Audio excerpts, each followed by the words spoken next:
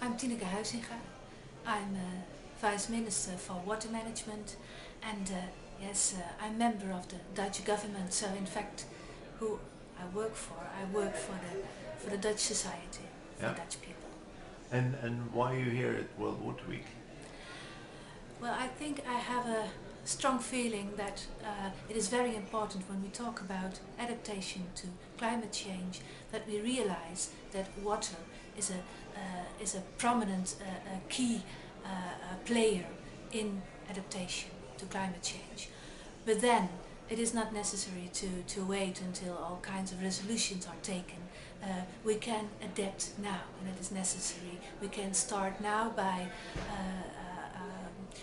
sharing knowledge with other countries, uh, finding best practices to adapt ourselves to climate change because climate change is happening and we have to prepare ourselves.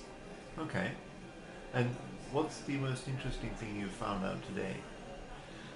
most interesting thing that I found out is that uh, uh, almost everyone present here from the uh, water community and from the development, developing community agree that water is very important, but they tend to have the feeling we have to wait for COP15.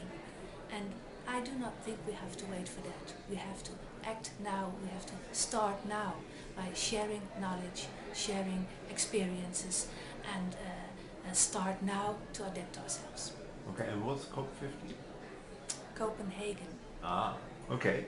The, so the, the, the actual uh, big summit that coming up. Yes, the This, exotic uh, summit this, end uh, of this year. Yes. Yeah. Excellent.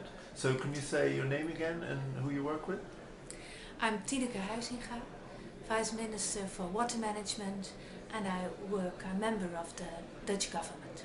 Excellent. Thank you very much.